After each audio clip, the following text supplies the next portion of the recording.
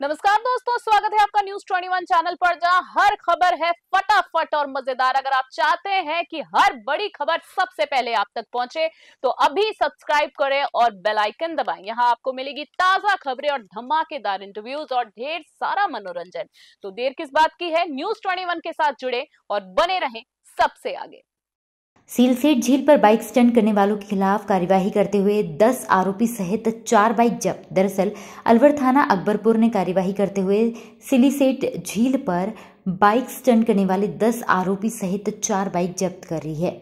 आनंद शर्मा, जिला पुलिस अधीक्षक, अलवर ने जानकारी देते हुए बताया कि ओम प्रकाश उप निरीक्षक थाना अधिकारी के नेतृत्व में थाना अकबरपुर की टीम द्वारा सिलीसेट झील में बाइक स्टंट करने वालों के खिलाफ कार्यवाही करते हुए दस लोगों को धारा एक सौ सत्तर बीएनएनएस के अंतर्गत गिरफ़्तार किया गया तथा चार बाइकों को 207 एमवी एक्ट में जब्त किया गया।